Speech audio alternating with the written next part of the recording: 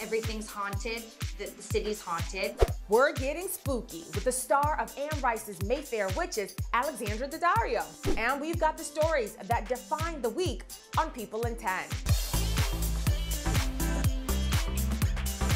I'm Makho Ndlovu, bringing you everything you need to know about pop culture right now. 10 minutes are on the clock, so let's get to it with the first five. Starting with the latest on Buffalo Bills player Damar Hamlin, who suffered a cardiac arrest during Monday night's game against the Cincinnati Bengals. They had to resuscitate him. Hamlin's uncle told CNN Tuesday that the 24 year old safety remained sedated after his heart stopped on the field. The following day, a friend told ESPN that Hamlin had shown promising progress overnight.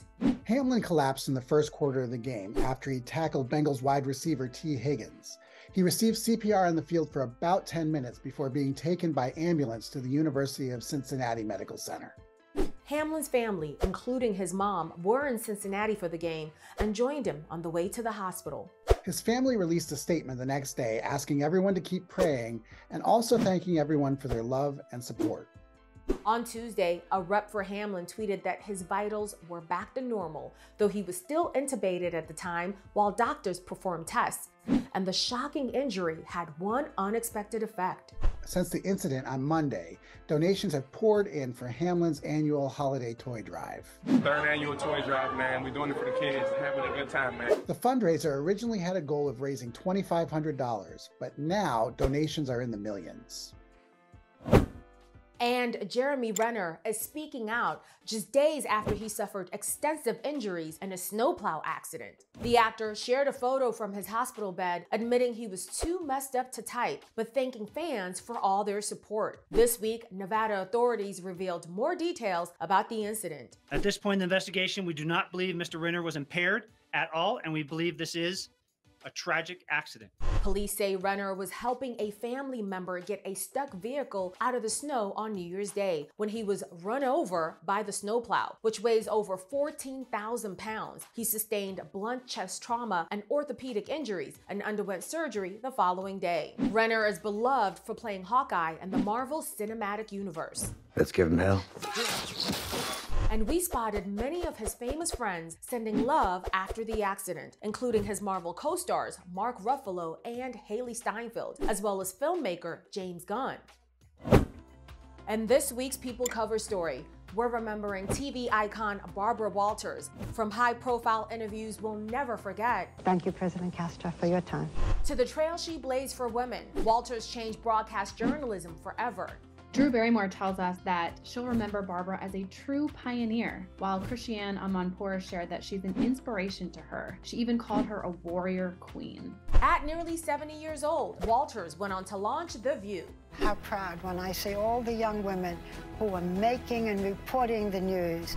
And left an indelible mark on her audience and her co-hosts. Whoopi Goldberg calls Barbara the OG and says that there will never be another like her. Joy Behar told me that she'll remember her not only as a mentor, but as a girlfriend, while Meredith Vieira cherishes Barbara's playful side and her ability to tell a really dirty joke. And Walters wasn't the only figure we lost over the last week. In just the span of a few days, we also said goodbye to soccer icon Pelé, legendary fashion designer Vivienne Westwood, and former head of the Catholic Church, Pope Benedict XVI. Switching gears now to some new love for the new year. Brad Pitt rang in 2023 in Mexico alongside his girlfriend, Ines de Ramon. A source tells people that the Oscar winner and jewelry designer are dating and having fun and have a good thing going on. 100%. This as Cher kicked off the new year with her boyfriend, A.E. Edwards. She was all smiles in the photo she captioned, Happy New Year, Daddy, and flashed a new ring, which sparked engagement buzz front and center. TLC's Chilli and Matthew Lawrence are also digging on each other. This week, a rep for Chilli confirmed they're dating after they showed off their dance moves together over the holidays.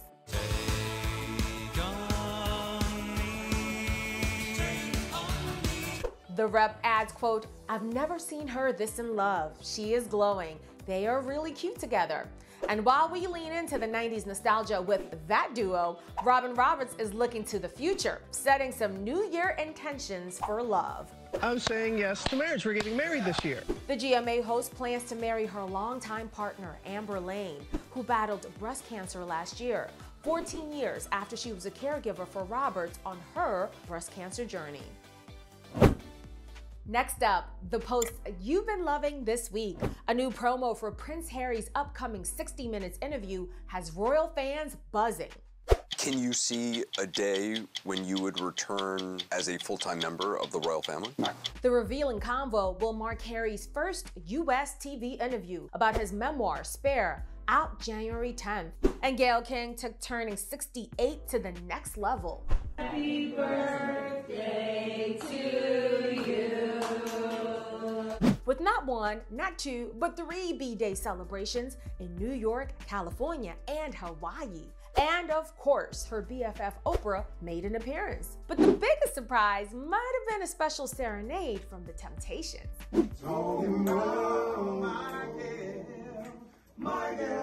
And Valerie Bertinelli was pumped to celebrate her first New Year's Day since her divorce.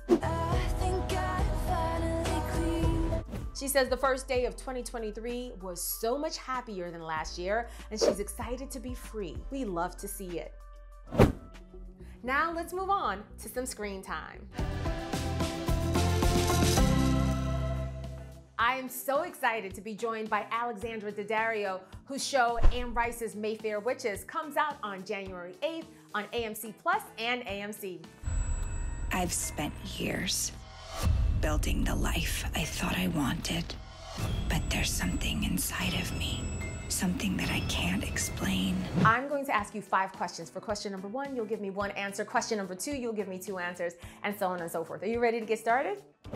I absolutely love the series. The show is based on Anne Rice's best-selling trilogy, The Mayfair Witches. Now you play a neurosurgeon in this who discovers that she's an heir to a family of witches. If you had to inherit one superpower, what would it be? I would want to um, fly. When I was younger, I always wanted to be invisible so I could hear what people were saying about me, but I don't want that anymore at all. Um, I don't want to know. Um, like I'd, ha- I'd love to have the power to heal. How amazing would that be? Now, I've been a fan of your career for a long time, uh, from New Girl to True Detective to your Emmy nomination for White Lotus. Congratulations on that. The chemistry was there. You've shared a lot of scenes with a lot of different people. Who are two co stars that you've shared scenes with that surprised you the most? Interesting. Um, Sir Ben Kingsley, I worked with. Um, I don't know what I was expecting, but um, he was so funny and kind and but he said he he said he was so honest and direct and um and I really I just adored him but I think I was I think I was taken aback by I was like, oh my God, Sir Ben Kingsley's so warm and so funny and so wants to like be friendly. What'd you tell him? I didn't tell him anything. Nothing. No.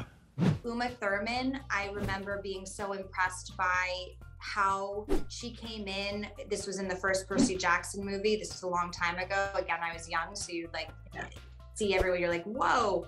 Um, but I just remember her being, she was so invested in the role and in what she was doing and and was so, it wasn't just that she was coming in and doing this part. She was so invested in the process and I was so impressed by that and I, I learned a lot from her. So I suppose it's a little late for an apology, huh? You suppose correctly.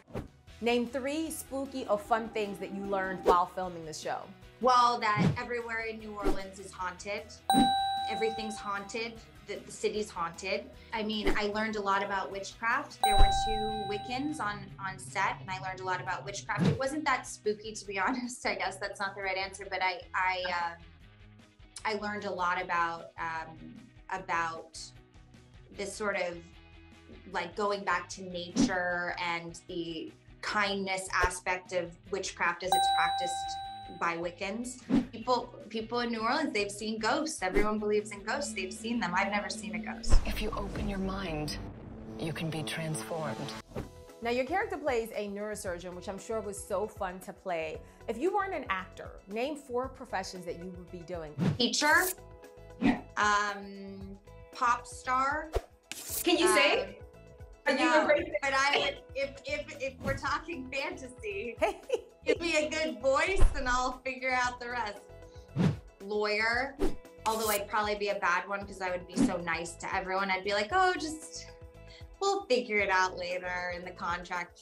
Um, I guess doctor, I like to help people. And finally, give us five reasons to watch Anne Rice's Mayfair Witches on Sunday, January 8th. It's entertaining. You will laugh at times. You will definitely cry. It's scary.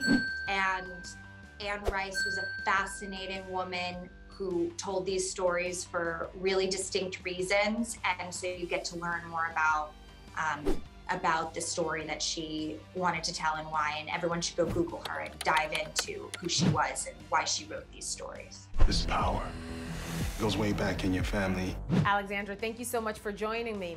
Everyone, be sure to check out Anne Rice's Mayfair Witches when it premieres on January 8th on AMC Plus and AMC. All right, time's up. We'll see you back here next Thursday.